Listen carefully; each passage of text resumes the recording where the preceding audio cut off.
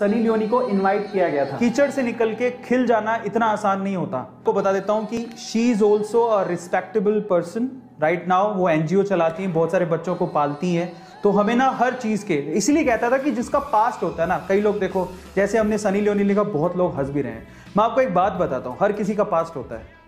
वो पास्ट से उसको जज नहीं करना चाहिए। प्रेजेंट में वो क्या कर रहे हैं? आज सनी लियोनी जितना पॉजिटिव काम कर रही है, शायद शायद ही कोई कर रहा होगा। वो यहाँ कोरोना के लिए भी बहुत सारे पॉजिटिव काम कर रही हैं और बहुत सारे बच्चों के लिए भी बहुत सारा पॉजिटिव काम कर रही हैं। तो मैं आप लोगों से कहता हूँ, किसी को भी किसी के पास से चेक मत करो जज मत करो। आपका भी कोई ना कोई पास्ट होगा। और वो बहुत स्ट्रगल से निकल के आई है। इतना आसान नहीं होता। कीचड़ से निकल के खिल जाना इतना आसान नहीं होता।